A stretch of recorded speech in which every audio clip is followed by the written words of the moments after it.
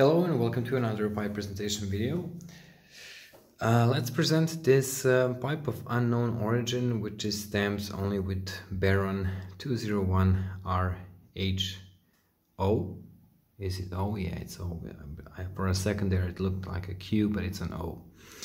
So uh, I have no idea where this pipe came from but it did attract me with the fine sandblasting, the interesting shape and uh, probably the similarity of the stem and especially this push saddle part which is a military mount connection that looks like Danish Bari pipes. Um, some somehow it, it does remind of them a lot. If I had to guess I would probably say German made pipe. Somehow it looks like a German pipe I don't know why but um, have honestly no idea where they come from. Um, upper part looks uh, of the chamber looks basically like new. It was very lightly smoked. Uh, we have the nice um, rounded rim, thicker walls as you can see. Fine sandblasting in the black stain.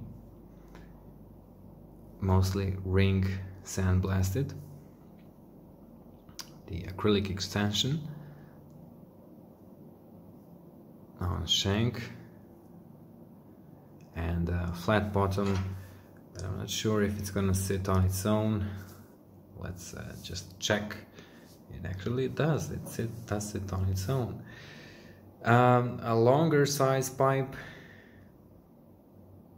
Honestly it feels very solid and good quality. Although unknown I would still uh, from my own experience uh, say that this is a well-made pipe and it should smoke. Great. And um, it's not the most stable sitter as you can see. It does sit on its own but it still wobbles a bit. Uh, and uh, that would be all for this short presentation. Thank you all for watching and I'll see you in the next one